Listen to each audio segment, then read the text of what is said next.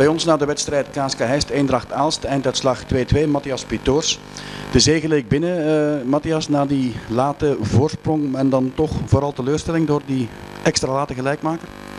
Ja, zeker in West uh, bij iedereen toch wel echt well, teleurstelling eigenlijk. Als je 86 minuten uh, toch in ons hoofd de winning goal mocht uh, en dan nog eens ja, in ik weet niet, 90 minuut, 89 minuut de gelijkmaker laten maken.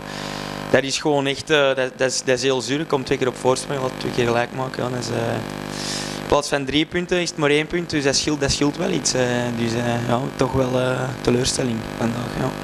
Ik hoorde net Jonas van der Marlieren voor een andere camera zeggen dat het tweede doelpunt van Aalst eigenlijk discutabel was omdat er geen vrije trap had mogen komen op die fase.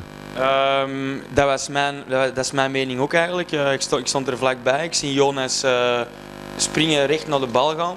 En zijn tegenstrever die bukt. Dus ja, uh, Jonas, het, lijkt wel alsof Jonas erover, erover springt eigenlijk.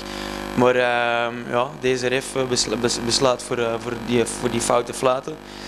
Terwijl ik dacht dat het spel ging voortgaan. Oké, ja, jammer genoeg, uit die vrije trap komt de gelijkmaker.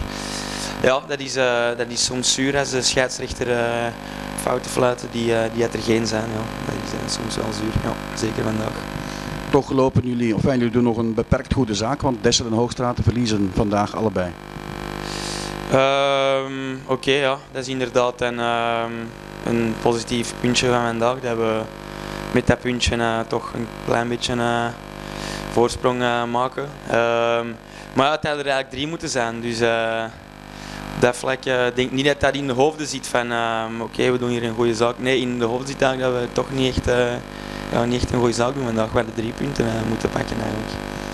Jij zelf speelt vandaag een berensterke partij. Ik vond dat je de eerste helft misschien wel de beste man op het veld was. Alle blessureleed is vergeten? Um, ik ga hier hout vasthouden. Uh, dus uh, ik moet wel zeggen dat ik me terug beter en beter in mijn vel begin te voelen en dat ik de fysiek ook wel begin terug te komen.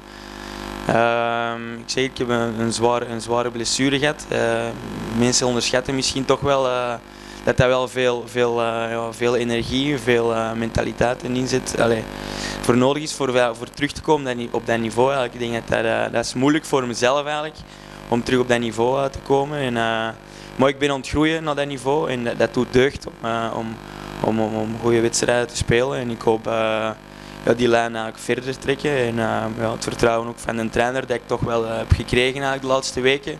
Zeker niet te beschamen en uh, gewoon gelijk altijd 100% mijn best te doen. En dan komt de rest wel vanzelf, hoop ik. Mooie instelling, slotvraagje. De eerste, de eerste wedstrijd die nu volgt is pas binnen vier weken. Meteen een superbelangrijke op Hoogstraten. Wat doet een voetballer die vier weken niet moet uh, competitie spelen?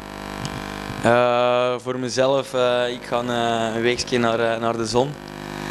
dus ik ga daar toch wel wat uitrusten eigenlijk. Ook van, van het werk en voetballen eventjes gewoon relaxen.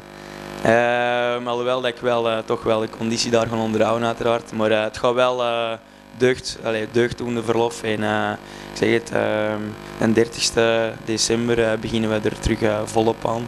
Met volle goede moed. Dus, ja. Oké, okay, bedankt en geniet ervan. Alsjeblieft, dankjewel.